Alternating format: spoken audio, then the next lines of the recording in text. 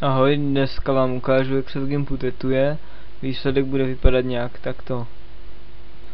Takže, otevřeme si jako vrstvu uh, obrázek s tetováním, kterou podle potřeby zmenšíme.